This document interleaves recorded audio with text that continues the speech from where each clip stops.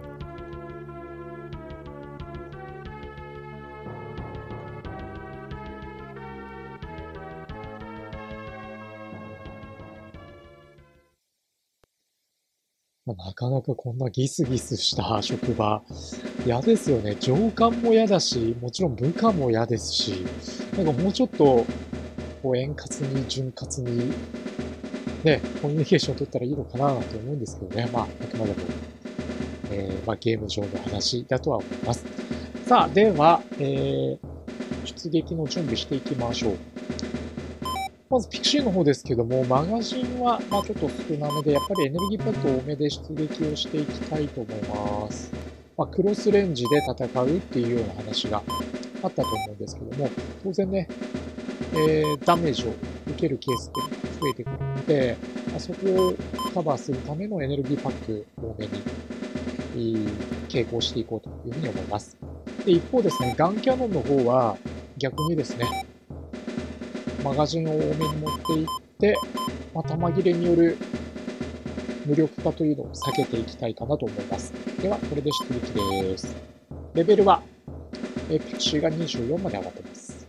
ガンキャノンが20、21といったところですね。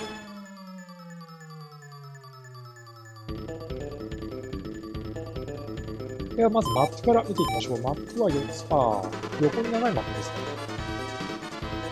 ではまずガンキャノンから偵察に出しましょう。こ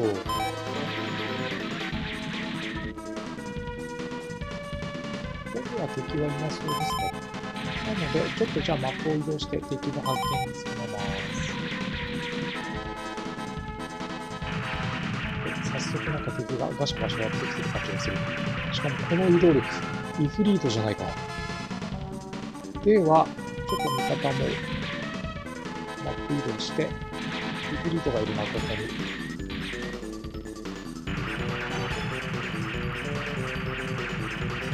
まだ見つかってない。いや、そこは火炎放射を変えましょう。ではまず、この火炎放射を作っていたザクから始末していきましょう。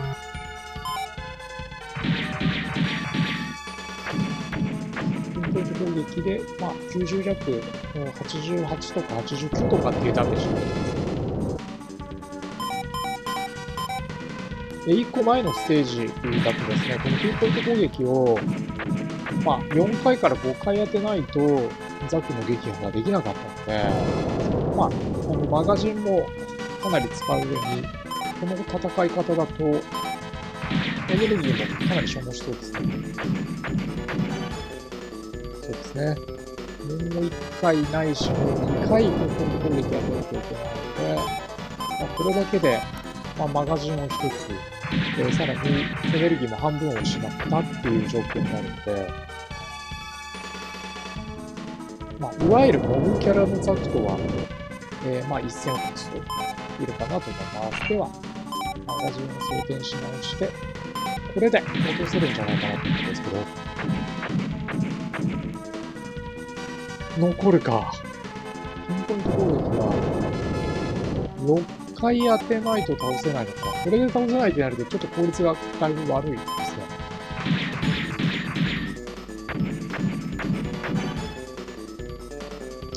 残るんだ。いや、倒せましたね。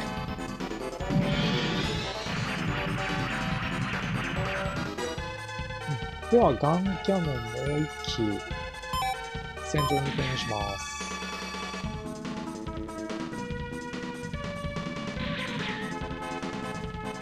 お、こんなところにいた。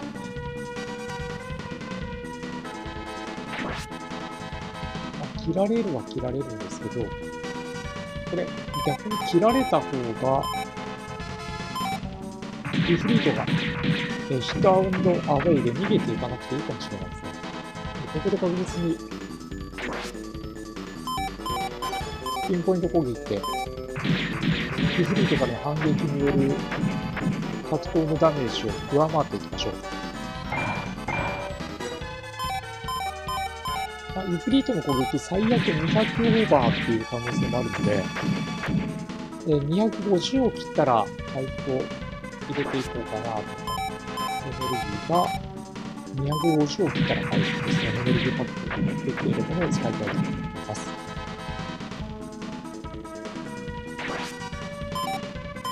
では、まずマガジンを装填し直して、リクリに攻撃です。あの、一年戦争編、まあ、第1部と同じくですね、えー、ここではガンダムピクシーが撃破されるとゲームオーバーということになってしまうので、まあ、その状況をね、絶対に避けるために、えー、温存ということをガンダムピクシーに関してはしておきます。ガンキャノンの先にね、前線に投入していきます。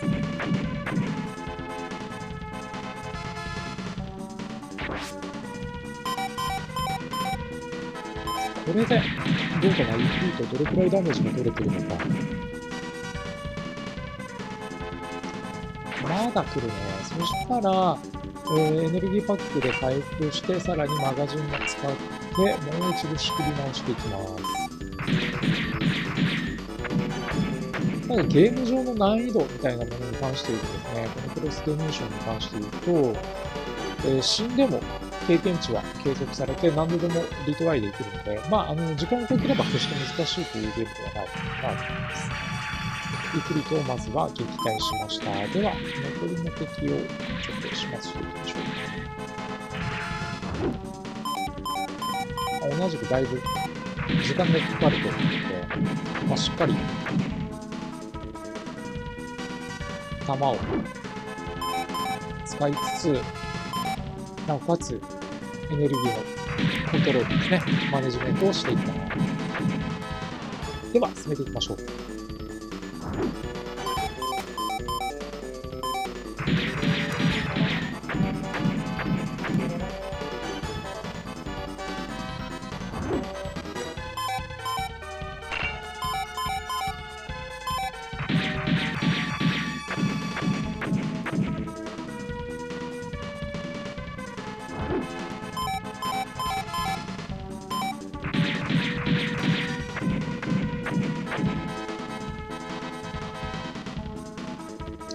さっきを撃退しました。レベルも上がりましたね。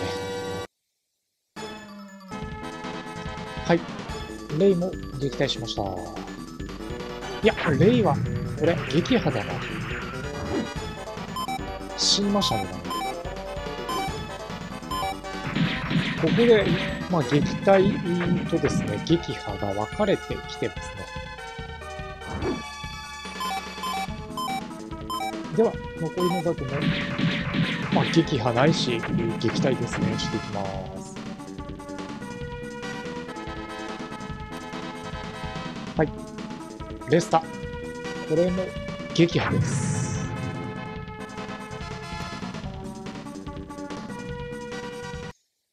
というわけで、えー、まあ、2機撃破しましたね。